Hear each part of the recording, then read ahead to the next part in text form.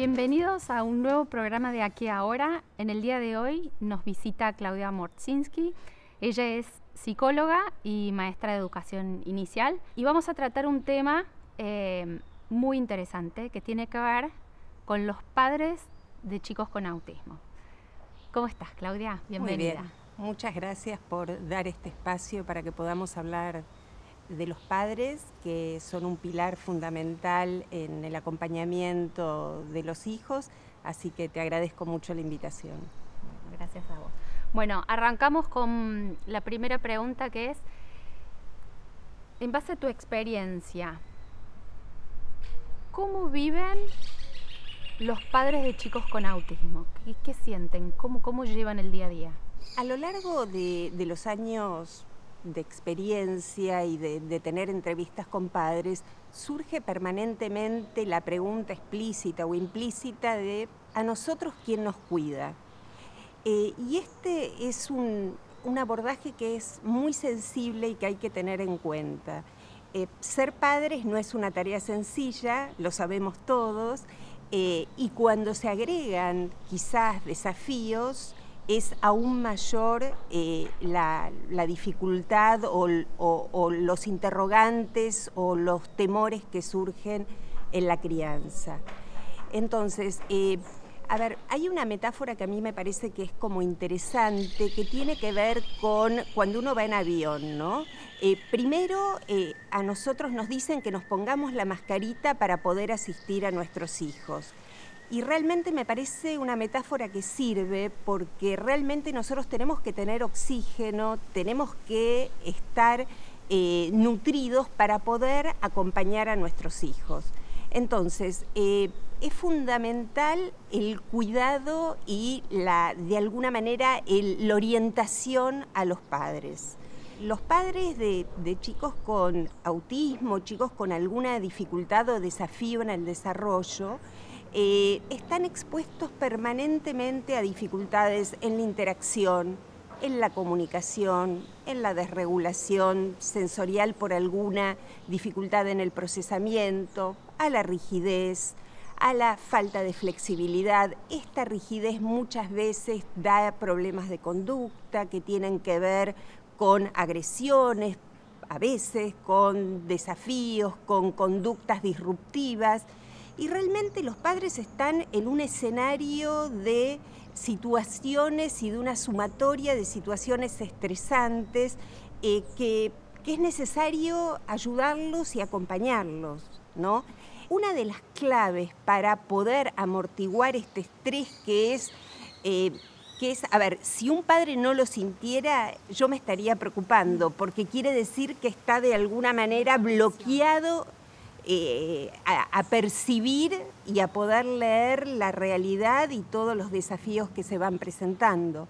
Entonces, eh, el estrés no es malo, es un indicador de todo lo que están viviendo. Y entonces es un indicador que tenemos que acompañarlos. Una de las maneras como de poder amortiguar este estrés es empoderando a los padres. ¿Cómo se los empodera? A partir de darles información y a poder entrenar técnicas de afrontamiento. En general una situación o una situación que nos supera o que es adversa o que no sé cómo manejarla, me genera indefensión, me genera vulnerabilidad, me genera preguntas, angustia, estrés. Entonces, en la medida que nosotros podemos entrenar con los padres en técnicas de afrontamiento, en cómo manejar una situación, porque en general en la situación aguda uno hace lo que puede.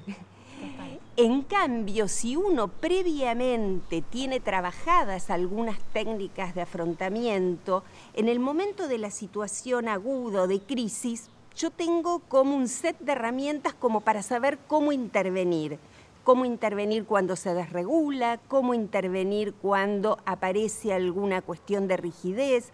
Entonces, todas estas técnicas trabajadas previamente, de alguna manera le dan a los padres una eh, actitud más, eh, más instalada, más empoderada, como, eh, con más capacidad de afrontamiento. Y entonces baja la tensión, baja el estrés, y el padre se puede conectar desde otro lugar con el hijo, ¿no? No con esa cuestión de estar superado por las circunstancias, de estar sobrepasado eh, y sin poder como estar presente en esa situación.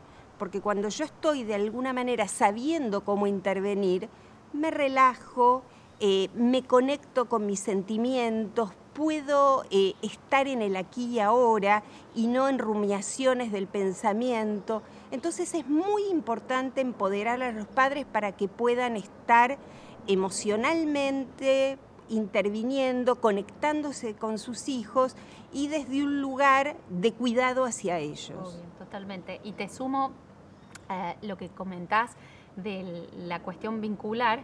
Eh, hablo personalmente pasas a tener cinco trabajos. Yo digo, es como pasar a tener cinco trabajos porque tenés el tema vincular, tenés tus otros hijos, tenés tu trabajo, tenés el papeleo en la obra social, tenés la escuela, tenés la terapia, tenés el turno con el médico, con el neurólogo, con el y se suman una es una carga de actividades, de responsabilidades que es mucho, en muchos casos te desborda, literalmente te desborda. Mm. Em, voy a la segunda pregunta. Perdona. sí. Eh, en relación a esto es muy importante lo que vos decís porque realmente requiere de un tiempo permanente y esto produce como cierta sobrecarga emocional eh, y mucho estrés. Pero es importante que también en, en todas estas actividades que vos mencionaste haya espacios libres de eso, de estar en el tema. ¿No? Como espacios donde vos te puedas conectar también con vos, Natalia, con lo que vos necesitas, con lo que vos querés, con lo que a vos te, de alguna manera, te sorprende, te alegra, te entusiasma, para que también toda esa energía después pueda recircular para poder afrontar el día a día con todo lo que trae porque cualquier objeto que está enchufado 24 horas se quema y la cabeza también, cuando uno está permanentemente en una actividad, a veces produce ese tipo de situaciones. Entonces es muy importante también descargar, desenchufar. ¿Y cómo uno desenchufa? Disfrutando, pudiendo como conectarse, sorprenderse con cosas y no estar de alguna manera como... Eh, permanentemente con el disco cargado, ¿no? Sabes que esto me lleva a, otra pregunta y que es, ¿qué hay, ¿qué hay de esta culpa que a veces sentimos los papás por no estar como a la altura de las circunstancias, ¿no? Porque en esta situación de desborde muchas veces explotamos y después automáticamente viene la culpa de decir, no, bueno, pero yo tengo que ser fuerte, tengo que estar a la altura porque mi hijo me necesita, entonces hay como una sobreexigencia y empieza todo este tema de la culpa, la sobreexigencia y por ahí un loop muchas veces, ¿no? ¿Cómo, qué, qué, recomiendas vos con respecto a eso? Mira, en principio, eh, como cosa teórica, obviamente que después hay que, reacomodarla. Eh, los padres eh, deberían sentir como más que culpa, deberían sentir un, una, una, gratificación o deberían sentir que están por encima de las circunstancias, no por debajo. O sea, permanentemente están sometidos a desafíos, a situaciones que tienen que resolver, a diferentes intervenciones, por lo que realmente los padres tendrían, por supuesto que esto no es natural, pero tendrían que tener un espacio donde realmente se valore y se dimensione todo lo que los padres hacen. O sea que realmente hay que sacarse el sombrero con la cantidad de desafíos y cómo los van resolviendo y cómo van creciendo en ese camino de ser padres. Obviamente que permanentemente se dan como dificultades o situaciones que hay que afrontar. Y creo que en este sentido es como muy importante tener una orientación o tener un espacio donde uno pueda compartir con otros padres, para que uno pueda escuchar y pueda de alguna manera colaborar con otros padres y se pueda retroalimentar en este camino y en esta espiral de crecimiento que necesitan los padres hay que aprender a bailar esta, yo lo llamo, es una metáfora que elegí hace muchos años y la sigo eligiendo, que es una danza de enamoramiento que se tiene que dar con los hijos. Obviamente que cuando no hay ninguna dificultad, cuando los tiempos se acoplan, cuando todos bailamos bien, la danza fluye espontáneamente. Cuando no, hay que ir acomodándose a los tiempos, a los movimientos del el hijo. Y este es un aprendizaje que no necesariamente va de la mano de chicos que tienen una dificultad. A veces es como que los perfiles de los padres no sintonizan con los hijos y hay chicos que necesitan quizás que por quizás por alguna sensibilidad propioceptiva yo no lo agarre tan fuerte y entonces me tengo que acomodar a esa danza y hay otros chicos que no tienen registro del estímulo y los tengo que agarrar quizás más fuerte o hay chicos que les gusta la música fuerte, hay otros que no. Entonces es un aprendizaje eh, que, que, como todos los aprendizajes se da en a veces un error o a veces meter para poder rectificar. Ahora, claramente los padres, eh, creo que, de alguna manera el factor de riesgo es que crean que ellos son de alguna manera los responsables de lo que le está pasando al hijo. Eh, creo que esto es importante porque esto aumenta el estrés, genera indefensión, genera culpa y realmente los padres no son responsables, son claves en poder acompañar al hijo, pero responsables de nada. Entonces, realmente creo que en la medida que se sienten que pueden modificar la situación con una orientación, con información, con empoderamiento, van a poder relacionarse con su hijo desde el ser, no desde el hacer. Porque si estamos pendientes de qué va a ser, qué va a lograr, y estamos todo el tiempo, porque, o sea, la culpa tiene que ver con lo que no hice. Y la ansiedad tiene que ver con lo que tengo que hacer. Y son dos factores de riesgo realmente en poder establecer cualquier vínculo. Entonces, eh, quizás poder trabajar la culpa que, que es totalmente, o sea, la culpa interfiere, inhibe, congela y no permite un vínculo fluido y la ansiedad nos saca de la escena, nos lleva al futuro, nos lleva a lo que falta. Y no estoy acá. Y no estoy acá. Y eso, Natalia, es lo importante, estar aquí presente eh, con mi hijo, disfrutando, sorprendiéndome de lo que puede hacer, de lo que logra, de esa mirada, de ese juego que propone. Y en ese estar aquí y ahora nos podemos vincular y podemos redescubrirnos, ¿no? Totalmente. Sabes que te escuchaba y, me disparaba otra pregunta que personalmente me fue muy útil ser consciente de la posibilidad de su existencia, las redes de apoyo, ¿no? Pensar, pensarnos a los padres como que no necesariamente somos, tenemos que ser los, los únicos que estemos 7 por 24 y sí saber pedir ayuda, ¿no? Levantar la mano y para poder tener estos espacios que vos mencionabas, este aire, este tiempo para nosotros y no sentirnos mal por, pedir eh, esa ayuda, ¿no? Te diría, Natalia, que hasta es terapéutico esto. ¿no? Así como uno tiene en cuenta todas las terapias de los chicos y es como que es muy riguroso con esto, a veces los padres no son rigurosos con sus espacios y con lo terapéutico, instrumental y, potenciador que son estos espacios para los padres. Entonces, eh, es necesario tener una red de sostén para uno poder reenergizarse, para esa energía llevarla con los hijos por un lado, tener una red de sostén y también una red de contención y de eh, inclusión con otros padres. Muchas veces los, los padres que viven este tipo de situación, como están sobrecargados, es como que se aíslan. Entonces no salen, no van a los encuentros familiares, no se reúnen con su grupo de amigos y quedan aislados y esto es un potenciador de estrés y de sobrecarga que quizás no se puede dimensionar. Entonces los padres están como eh, tranquilos, entre comillas, porque los llevan a las terapias, pero están de alguna manera como encerrados en una situación donde no se relacionan y esto aumenta los niveles de estrés y de indefensión.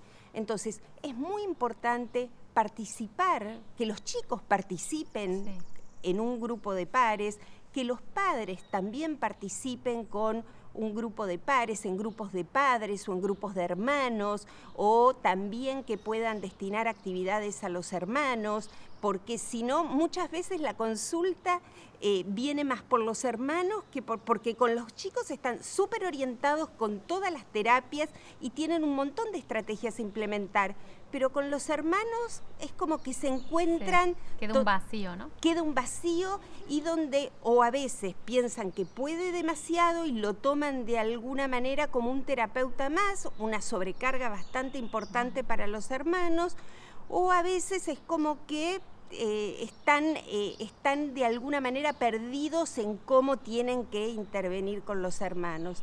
Entonces esto también es importante y también también para los chicos sentir que y ver que hay que ocuparse de otros y que no hay una sobreprotección, una mirada permanente, también es muy importante y terapéutico. Total. Totalmente, no el mundo empieza y termina con mi papá y mi mamá. Exactamente, también es como que eh, tenemos que darle protagonismo a los hermanos, ¿no?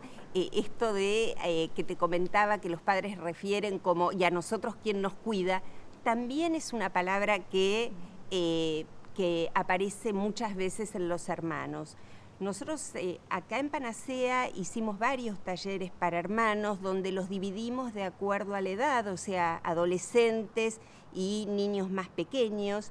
Eh, y realmente eh, surgen como mucho agradecimiento de los chicos, primero en sentirse protagonistas, en poder compartir con otros chicos todas las vivencias, el día a día, esta culpa que también a veces tienen los hermanos porque a veces se cansan, se enojan con ciertas conductas de sus hermanos, como todos los hermanos, pero acá quizás la culpa es mayor. Entonces también trabajar acerca de las emociones, de los pensamientos, por un lado con un profesional y por otro lado con un grupo de pares donde van socializando y en la medida que empieza a circular estos sentimientos y estos pensamientos, empiezan a sentir un alivio increíble. Muchas veces terminando los talleres de padres están tan agradecidos, no se quieren ir del taller porque encontraron un lugar donde a través, de acuerdo a la edad de la propuesta, muchas veces con los chicos pequeños es lúdica, es gráfica, con los chicos adolescentes es como quizás a través de la música o a través de algunos, eh, de algunos disparadores, o sea, lo vamos como armando de acuerdo a la edad, pero siempre el objetivo es que se sientan especiales, que se sientan únicos, protagonistas y que realmente ellos son potenciadores de sus hermanos y que en este sentido se sientan como muy eh, en confort con todo lo que vienen haciendo y no con esta sensación como de sobrecarga, de estrés o de malestar. ¿Cómo pueden acceder los que están viendo ahora en Panacea, digamos, se ponen en contacto con Panacea y allí pueden ver los, ver los talleres. Exactamente, exactamente. Eh, y en general son espacios que los tratamos de hacer los sábados para que puedan venir y más o menos son alrededor de dos horas, donde en principio trabajamos con los chicos y después hacemos una puesta a punto con los padres para que los padres también puedan escuchar qué es lo que necesitan sus hermanos, para que esto pueda de alguna manera eh, reciclarse y generalizarse en el día a día, no que quede dentro del espacio, sino que estas estrategias o estos pedidos que hicieron los hermanos los puedan tomar los padres. Y con respecto a esto de la sobrecarga y del estrés, me parece importante empezar a ver los primeros indicadores. Porque obviamente cuando estamos en, una escalera, en el escalón 20, es mucho más difícil bajar que si estamos en el primero o en el segundo escalón. Entonces, eh, cuando uno empieza a trabajar desde los primeros señales o indicios de estrés, es como que la, intervención es mucho más rápida y efectiva, ¿no? A veces los padres vienen en una situación de estrés mayor, donde no tienen fuerza para levantarse, donde ya tienen dificultades en el sueño, donde tienen problemas de memoria, déficit cognitivos. Entonces, bueno, tengamos en cuenta todos que cuando antes es la intervención, más facilitadora es. Tal cual. Te escuché, Claudia, en muchas oportunidades hablar de estos espacios de encuentro. vamos a hablar más allá de los, de los espacios sociales tradicionales en general, de amigos y familia. Estoy hablando de espacios un poco más específicos donde nosotros los papás nos encontremos con otros papás que, pasen cosas similares. ¿Existen esos espacios? Sí, existen estos espacios, eh, son también muy terapéuticos, eh, donde, eh, o sea, estos espacios existen con distinta modalidad. En principio podría ser como entrenamiento de cómo eh, activar y cómo vincularse con sus hijos, que también se da grupalmente, eh, los TEM que, muchas veces habrán escuchado. También hay espacios como para compartir con los padres desde sus pensamientos, desde sus emociones, desde sus frustraciones, porque también es verdad que cuando uno intenta relacionarse con su hijo y de repente no tiene la respuesta eh, espontánea, esto genera como mucha frustración, genera sentimientos ambivalentes y encontrados. Entonces es muy importante eh, que los padres puedan encontrarse. Muchas veces se pueden encontrar con un profesional de la salud mental, otras veces con profesionales de distintas áreas donde los padres van compartiendo la experiencia y están los padres que recién comienzan, que están ávidos de recibir todo y que vienen con esta quizás angustia, con este estrés donde les resulta muy difícil. Hay otros padres que ya están a mitad de camino y pueden de alguna manera como compartir con los padres que recién comienzan y es muy sanador para los padres que están a mitad de camino compartir esto porque ya iniciaron un recorrido y un camino, y para los padres que recién comienzan, donde ven que hay un camino posible. Y este camino posible es como que nos ilumina el mundo, ¿no? Y es como que, bueno, nos da una orientación, una guía hacia dónde ir. Bien, tal cual. Ahí em, cuento una experiencia personal que te la comenté justo antes de empezar a grabar eh, yo participo de un grupo, varios grupos que tiene la Fundación Brincar por un Autismo Feliz, que justamente hace estas agrupaciones de padres eh, y abuelos, madres y abuelas, tienen distintos formatos y la verdad es que tus palabras fueron tal cual, es sanadores.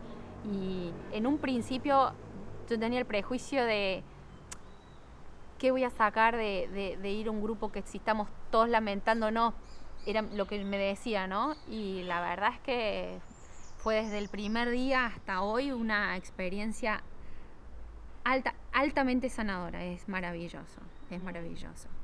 Eh, bueno, Claudia, te agradecemos muchísimo porque hayas venido. Eh, todo lo que nos contaste creo que en este momento está sumando muchísimo para generarles mayor confianza, para sentir que se puede y sobre todo para que no solo como empezaste diciendo, no solo hablemos de los chicos, por supuesto que no, nos ocupan las personas eh, que tienen dificultades en el desarrollo del que sea autismo, el que sea, pero también hay que pensar en los padres. Entonces nos quedamos un poco con ese mensaje. Muchas gracias.